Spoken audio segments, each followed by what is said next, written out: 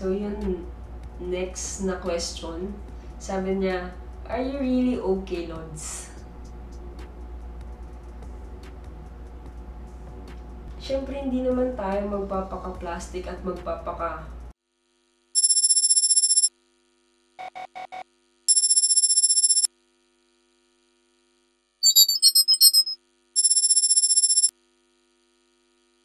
Hi guys! Welcome back to our weekly routine. And finally, meron na tayong bagong upload. Naglaan talaga ako ng oras para gustahin kayo and pag-usapan itong topic na to kasi very timely. Lalo na ngayong pandemic, tapos ang daming nangyayari, di ba?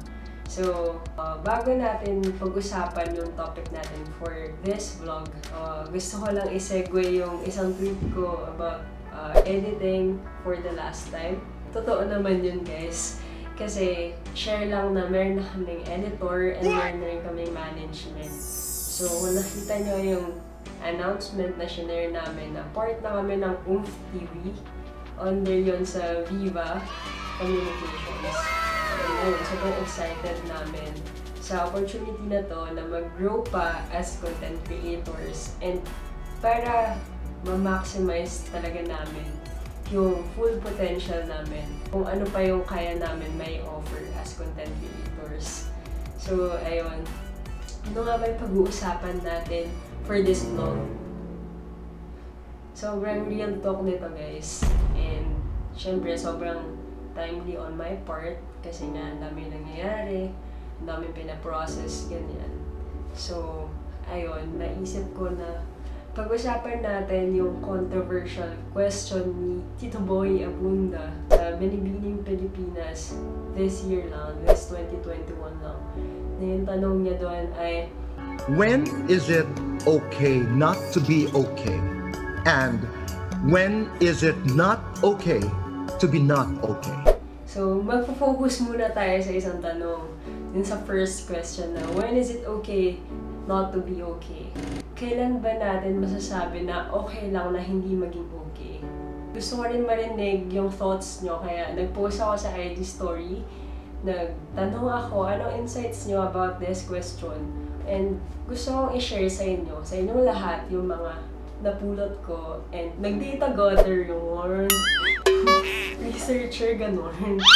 So, nag gumawa tayo ng themes para mas maayos at mas structured yung discussion natin. So, ang una nating pag-uusapan ay yung mga shinare nyo na specific instances kung kailan ba okay lang na hindi maging okay. So, sabi ni, ang hirap naman i-pronounce, ang hirap naman i-pronounce ng pangalan niya. So, so sabi ng first response ay, when you're tired or hurt because sometimes we forget to acknowledge our feelings. Mamaya na lang pala yung mga side comments ko para conclusion tayo, Mars.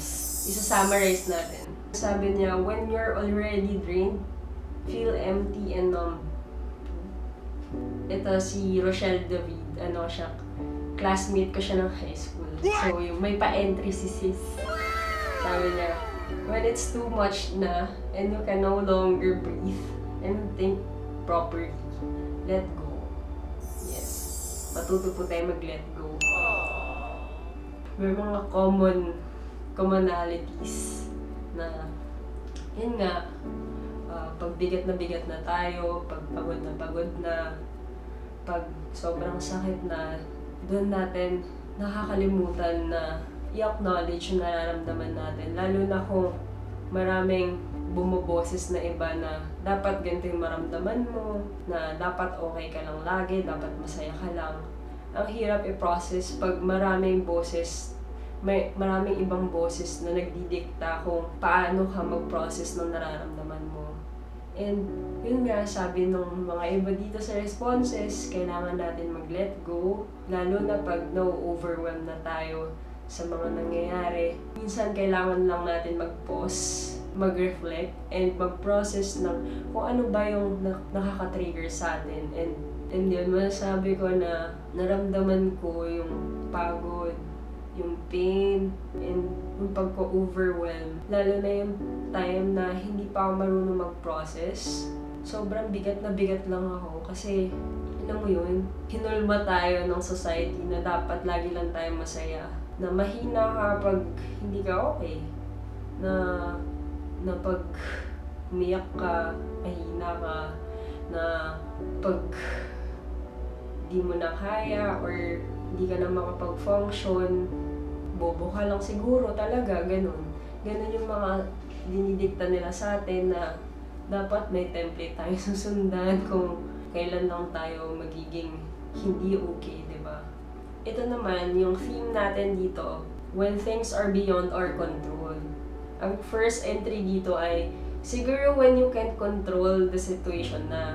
So, okay lang daw na hindi maging okay ganun na yung situation. And sabi dun sa next naman, anytime daw, pwede naman tayo maging hindi okay. Hindi mo pwede control emotions mo, di mo kasalanan na may trigger sa'yo. Ito, lastly, sabi niya, when things are not under your control, but you're still doing your best. Ito yung isa sa mga na-absorb ko sa counseling na you need to let go of the things beyond your control uh, lately kasi nafe-fixate ako pag dinidiktahan ako ng ibang tao na ganito dapat gawin mo, ganito ka mag-move forward. Pero hindi eh. Parang uh, beyond my control na yung mga iisipin nila, yung sasabihin nila of me. Kasi a- ako yung pinaka nakakaalam kung paano ba ako magpo-process or paano ba ako makaka-move on. Okay lang na hindi maging okay pag yung mga bagay o yung situation ay labas na sa control mo. And hayaan natin na mag-take course yung mga bagay-bagay kasi kung meant to be naman, mangyayari at mangyayari siya and kung para sa'yo, para sa'yo talaga siya. So, uh, siguro kailangan lang din natin mag-let go sa mga akala natin na okay para sa atin. So, yung next theme naman natin ay, sabi dito sa first entry na kung kailan kung kailan ba tayo, kung kailan ba okay na hindi maging okay.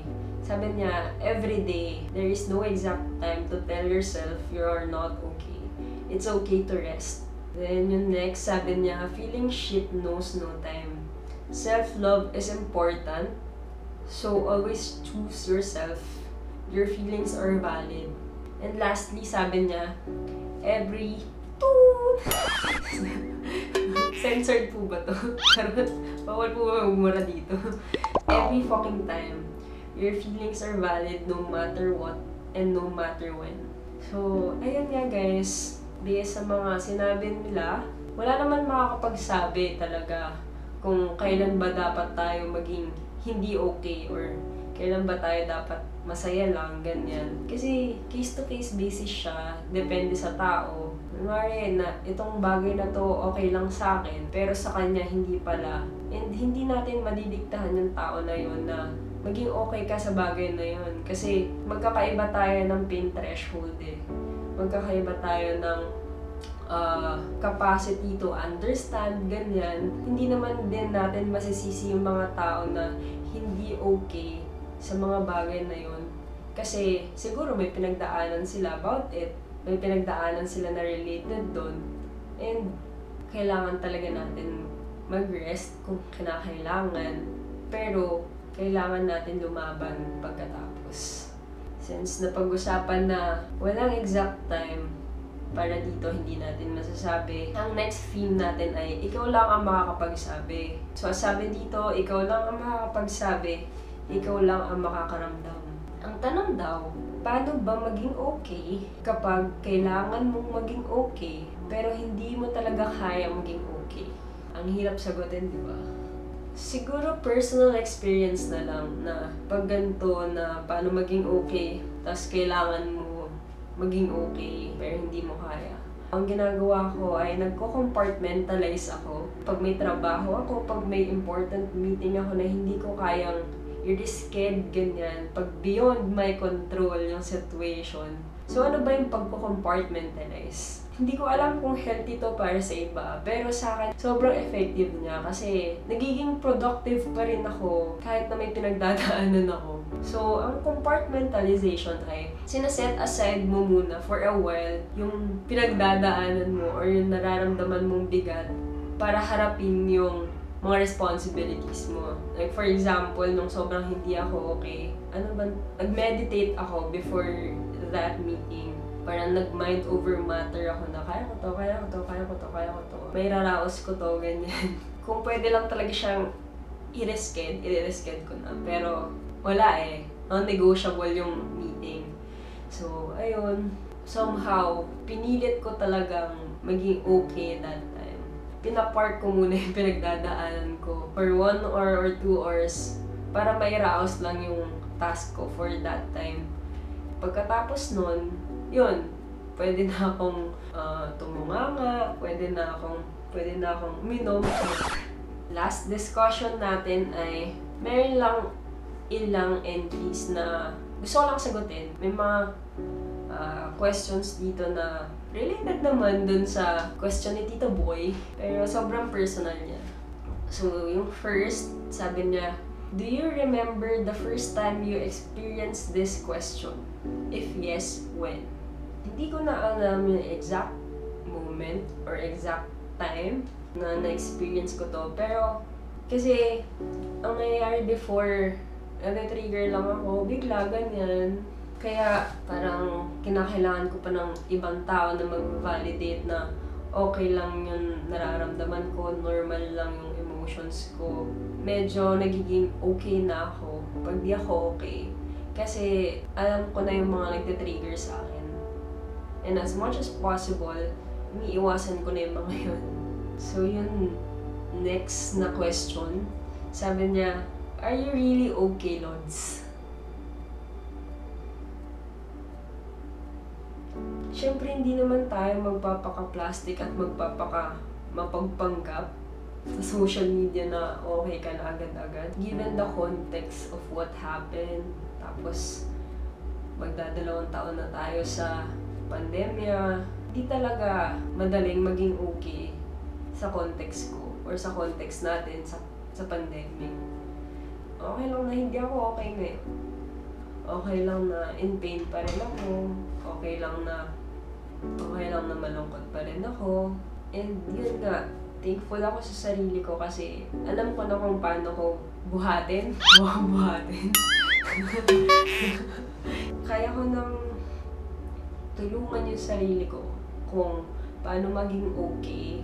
Kaya nakakapag-function ako ng matiwasay on a daily basis. Sana na-validate yung nararamdaman nyo na okay lang yung mga pinagdadaanan nyo, na sana maalala nyo na may karamay kayo sa mga pinagdadaanan nyo. And kung gusto nyo pang may ibang pag-usapan, comment below. And actually, sobrang hirap ng pangalawang tanong ni Tito Boy na And when is When it not is it okay, not okay to be not to not be okay? Kailan nga ba hindi okay? Yung mga pinagdadaanan natin, ganon. Diba? Kailangan ng ano, matinding brain cells. Pero that ends our weekly routine. Please like, share, and subscribe. Bye guys! Be well and keep safe.